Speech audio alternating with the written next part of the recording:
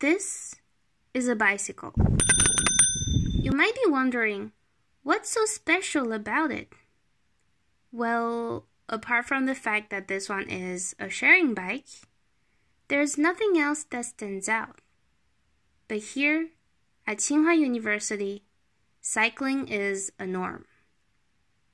Every September, at the beginning of the school year, new arriving students would buy their bicycle that they keep until their graduation. Some others would buy scooters, but most Tsinghua students prefer to follow the culture of no sports, no Tsinghua, which implies the importance of sports at this institution. And because of the huge size of this campus, walking is not ideal if you're in a rush to get to your next class.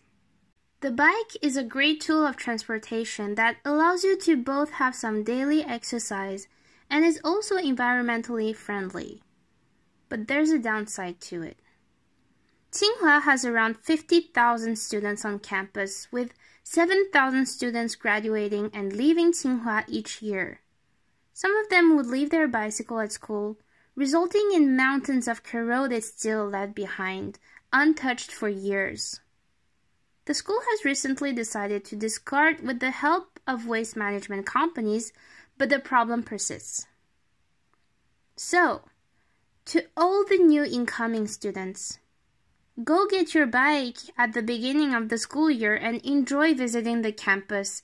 But please, either give your bike away when you graduate or find a company that helps you discard it.